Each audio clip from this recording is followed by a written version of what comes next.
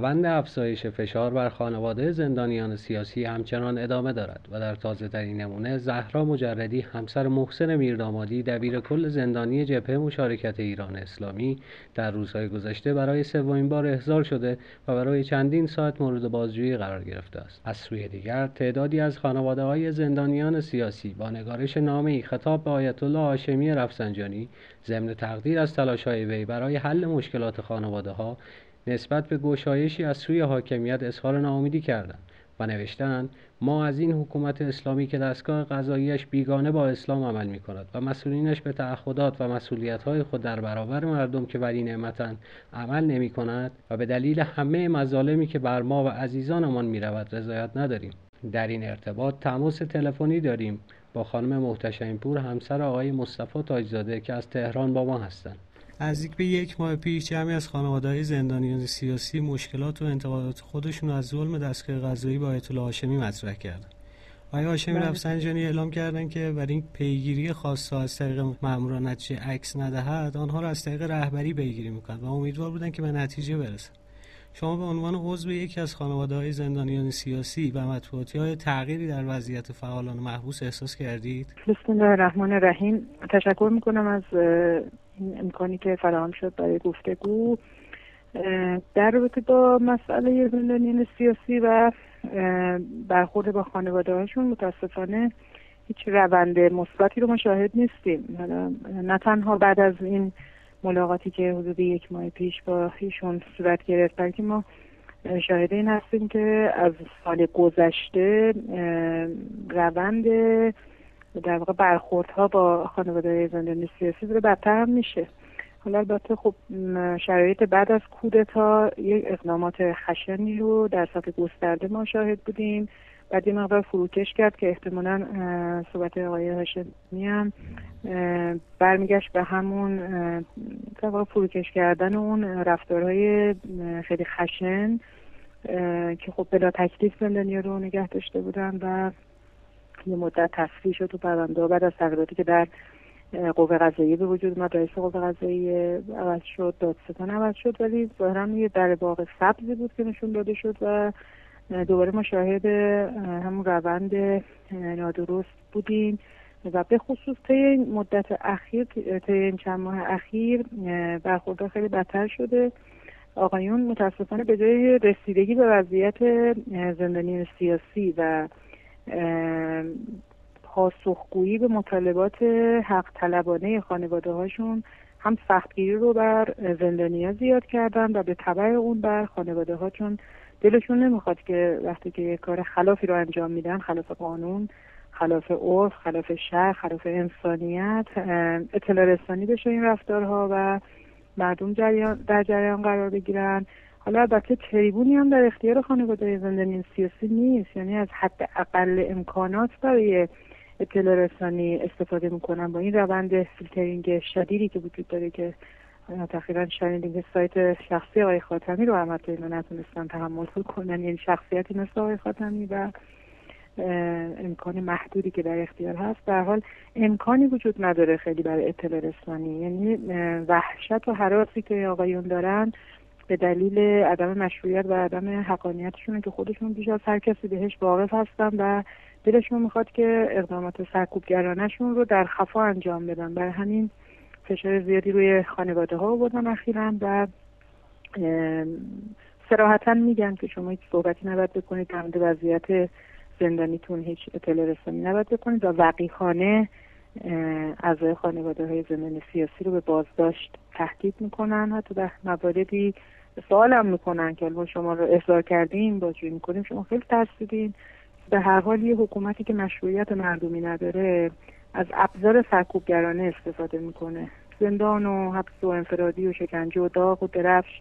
اگه قرار بود که پاسخ بده تا الان باید پاسخ می‌داد. و آقایون که مدعی هستن که ما همه چی رو مهار کردیم و کنترل کردیم اگر واقعا انقدر همه چی تحت کنترلشون هست پس همه فشار بر زندانیا زندانی که داخل زندانه دیگه به رخ کشیدن قدرت لازم نداره که به اندازه کافی قدرت ضرور و تدبیرشون رو به رخ عزیزان ما کشیدن و به رخ مردم کشیدن. خانواده هاشون هم که از خود اونها مظلومتر و بیپناهتر. یعنی واقعا این نوع برخوردها برخوردهاییه که من فکر می‌کنم من نمی‌خوام بگم که کشور ما بر اساس اصول اسلامی داره اداره میشه که واقعا نمیشه و متاسفیم از اینکه بگیم حتی چهره واقعی اسلام رو با این نوع حکومتگری خراب کردن و باعث دین گریزی شدن که تو صحبت امروز آقای زدن بود و منتشر شد. بلکه حداقل درایت و تدبیر رو این دولت مردانی که حالا بر اساس کودتا روی کار اومدن به کار نمی‌گیرن که شما حداقل ظاهر امر رو حفظ بکنید.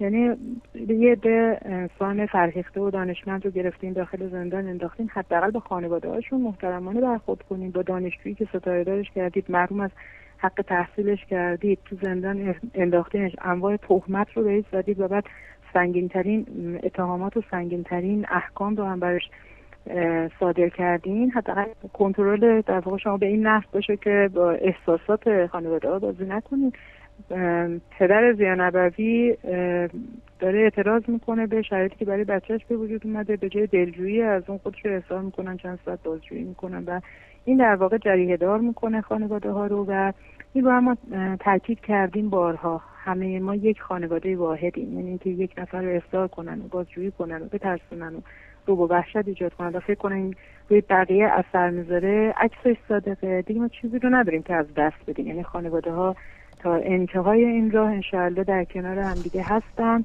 برای دو روز مرخصی و برای دو تا امکانی که سری به خانواده ها و به زندانیان میدن حاضر نیستن از حق طلبی خودشون در مسیر آزادی دست بردارن و انشاءالله در کنار هم این راه صعب و سخت رو طی می‌کنن.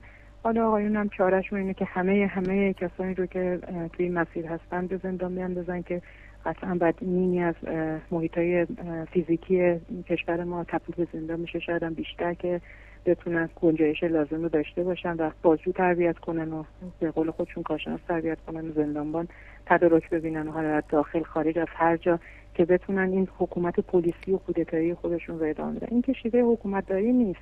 یعنی واقعا من می‌خوام دلسوزانه اینا رو نصیحت کنیم که حداقل برین شیوه حکومت اگر می‌خواین دیکتاتوری کنین استبداد کنین رو بشر ایجاد کنین اقلا بریم به شیوه مدرن. اینا مال دوره پیش از تاریخ فکر می‌کنم اون دورم نبوده. بالاخره یه حداقلی از حقوق رو برای انسان ها در نظر می‌گرفتن. این رفتارها رفتارهای کودکانه که نه تنها باعث حراس خانواده نمیشه بلکه همبستگی اونها رو بیشتر می‌کنه و اونها رو به این اندیشه وام داره که راه های محکمتر و موثرتری رو انشالله اتخاذ بکنن. ممنونم. سوال بعدیم در مورد های تاجزاده هستش. از آخرین وضعیت شما رو مطلع می‌کنین؟ من امروز ملاقات داشتم با آقای تاجزاده. متاسفانه بعد از گذشته بیش از دو ماه هنوز ایشون در یک حالت بلا تکلیفی به سر می‌برن. همچنان با آقای نوریزاد در یه محل نامعلومی نمی‌دونم یعنی جایی که هستن نسل لوله نبند عمومی نگهداری میشن دور از بقیه و هیچ کس هم پاسخگو نیست که حالا به حالشون اگر حکم شده میگذرونه باید در بند عمومی باشه. معمولا دوستان در 350 میشن. نمی‌دونم چه اصراری دارن که ایشون رو از بقیه دور نگه دارن. ایشون و های نوریزاد همچنان به همون شرایط خاص قرنطینه به سر می‌برن.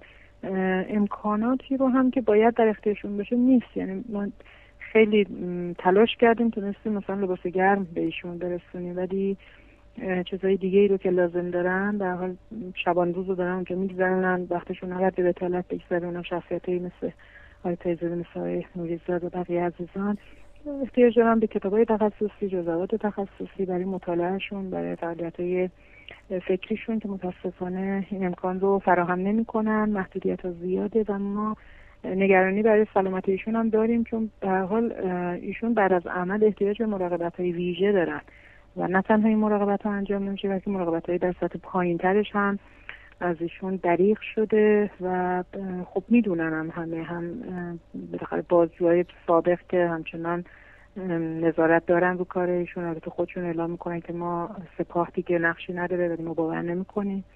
برای اینکه شنیدن آیه دادستان برای بعضی از مواردی که باید در اختیار این عزیزان قرار می‌گرفته گفته باید استعلام بکنیم و خب استعلام از این مقام بالاتره دیگه. مقام بالاتر از قاضی و دادستان اینا مالا همین مقامات امنیتی و گروه های فشار و سپاه و اینا هستن.